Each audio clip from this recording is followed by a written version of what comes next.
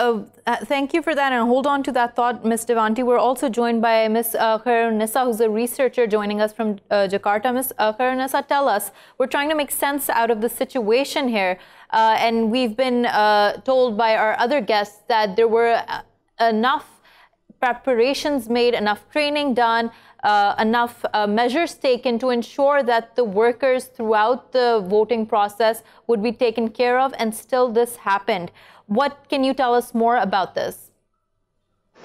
Yeah, actually, this is this is the the very election uh, in Indonesia. The very first time we have a concurrent election. We have uh, with uh, more than uh, almost two, 200 million voters uh, we have more than 800,000 polling stations. And uh, you mentioned about trainings, and uh, I think uh, the polling station officers doesn't have uh, didn't have enough training about the, the, the counting process. Uh, the there, there are seven members. each polling station has seven members officers, but only one have training, and the others is not.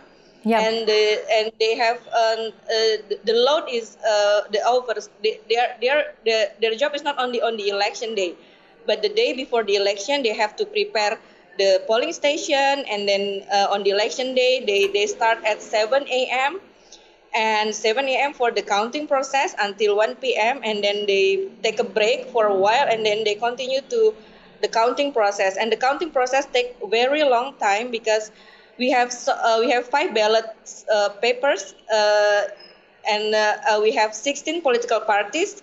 Hmm. and each political parties have uh, at least 10 candidates. So our our ballot papers is very big and every and everything has to be counted right.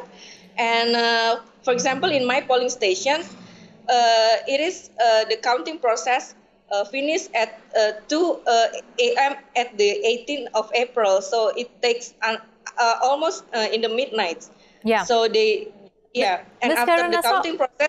Yeah. Also, yes. please uh, tell us what pressure was placed on these workers. Of course, during any democratic process such as the elections, there is a lot of pressure to maintain the integrity of the entire process. But given uh, Indonesia's uh, political climate, social climate, tell us if, there were any additional stresses on these workers. Yeah, they, they, they have to, to, to do their job right because in the polling station, every, everyone can see the process. It is open to public, so the political parties uh, send their uh, send their witness on the polling station uh, observers also can see the process in the polling station, so they have to do it uh, right. And uh, they don't have any. Yeah, they, they all, the, the polling station officers only have a little time uh, to take a break because uh, the counting process uh, should finish at least on 18 April 2019, at least at 12 a.m. So they yeah. they don't actually they don't have much time, but they have to they have to work fast and right. They have to work fast and right. So it is. Uh, so their job is not only on the election day because after the counting process, they they have to distribute all the logistical to the this to the sub district. So it it also takes time.